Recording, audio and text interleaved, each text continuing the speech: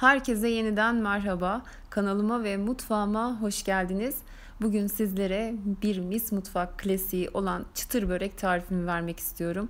Instagram hesabımdaki binlerce takipçimin denediği ve çok sevdiği bu börek tarifi gerçekten hem iç harcıyla hem de ertesi güne bile çıtırlığını korumasıyla diğer çıtır tabir edilen böreklere çok büyük fark atıyor. Ben özellikle hem fırından çıktıktan 3 saat sonra hem de ertesi gün çıtırlığını sizler için test ettim. Videonun sonunda da bunu göreceksiniz. Şimdi tarifin yapımına geçiyorum. Öncelikle iç harcımızı hazırlayacağız. Bir dolu tepeli yemek kaşığı tereyağını tavamıza alalım ve üzerine bir adet orta boy yemeklik doğranmış kuru soğanımızı ilave edelim. Hemen bu aşamada bir tatlı kaşığı tuz ekliyoruz ki soğanlar kavrulurken diriliğini daha çabuk kaybetsin.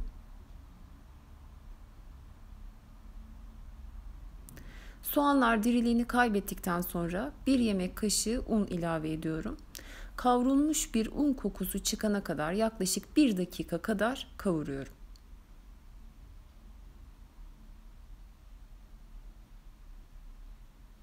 Evet unum ve soğanım güzel bir şekilde kavruldu. Şimdi 2 adet çiğ patates rendesi ekliyorum. Patateslerimizi hiçbir şekilde haşlamıyoruz. Çiğden rendeleyip soğanlı karışımı ilave ediyoruz. Sadece böyle renginin şeffaflaşması, saydamlaşması yeterlidir. Çok fazla kavurmayacağız.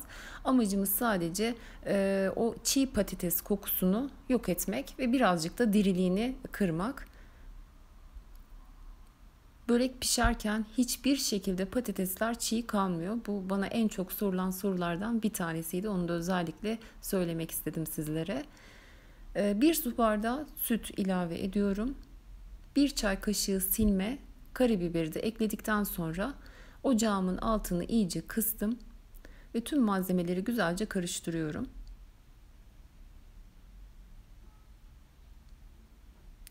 Kısık ateşte yaklaşık 5-6 dakika kadar patatesler sütünü çekene kadar pişmeye bırakıyorum. Şimdi gelelim böreğimizi çıtır çıtır yapan o güzel sosa. 1 su bardağı sıvı yağ, 1 yemek kaşığı un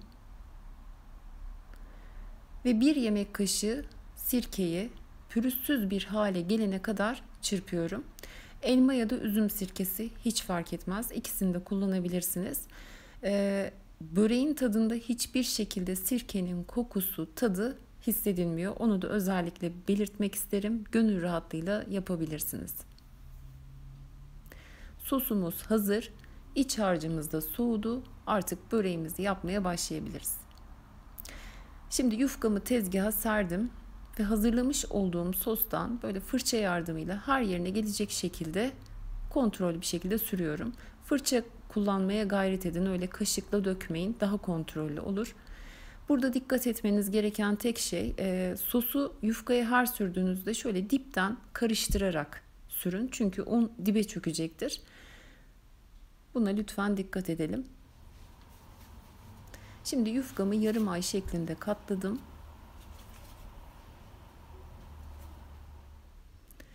Kenardan 1 santim kadar yufkaların kalın olan yerlerini ruletle kesiyorum. Çünkü muska şeklini vereceğim ve bu şekli düzgün bir şekilde alabilmesi için e, o kenardaki fazlalıkların alınması gerekiyor. Ama isterseniz kalın bir sigara böreği formunda da sarabilirsiniz. 4 parmak kalınlığında şeritler kesiyorum ruletle. Ve tekrar sosumuzdan çok az bir miktarda özellikle e, böreğin kat yerlerine sürüyorum ki e, fırında böreğimiz kabarırken bir açılma olmasın.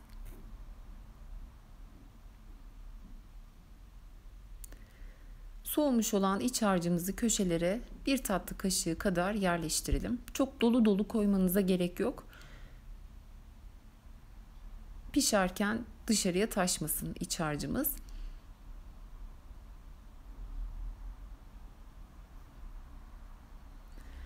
Ve bir muska şeklinde veriyorum şimdi katlayarak.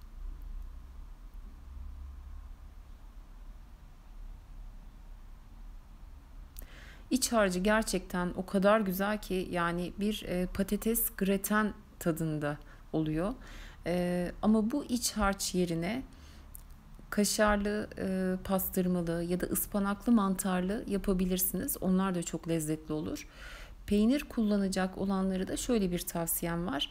E, peyniriniz lütfen yumuşak ve yağlı bir peynir olsun. Öyle çökelek, lor tarzı peynirleri kullanmayın. O zaman böreğiniz kuru olur.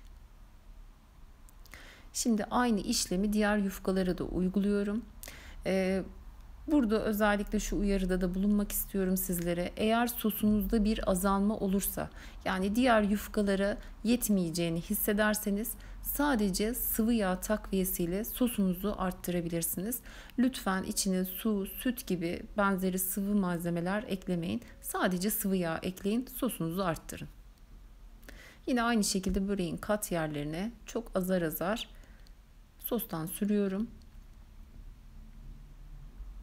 köşelere iç harcı yerleştirip muska şeklinde sarıyorum.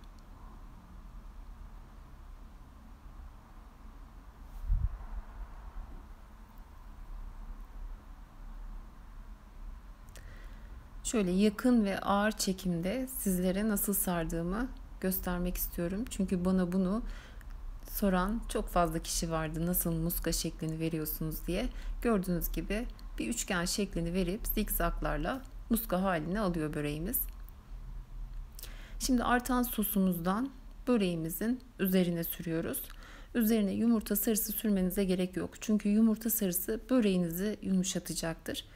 Sosunuzdan arttıysa ya da hiç artmadıysa sıvı yağ sürebilirsiniz. Bu şekilde hepsine sürüp önceden ısıtılmış alt üst ayar 200 derecelik fırına veriyoruz altı üstü kızarana kadar pişmeye bırakıyoruz.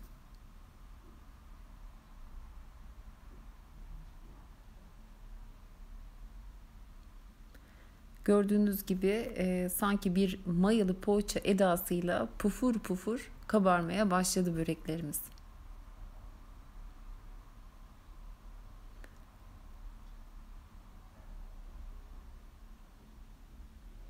Evet fırından çıktı. Şu an çok sıcak gerçekten.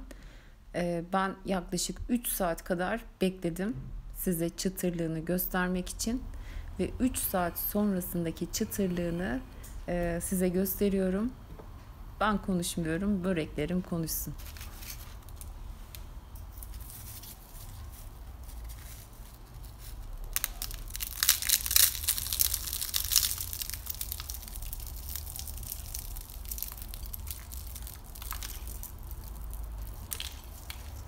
Dışı çıtır çıtır, içi yumuşacık, şahane bir börek gerçekten. Bu çekimi yaptığımda akşam üstüne yakın bir saatte. Şimdi ben size ertesi gün sabah böreğini tekrar test ettim.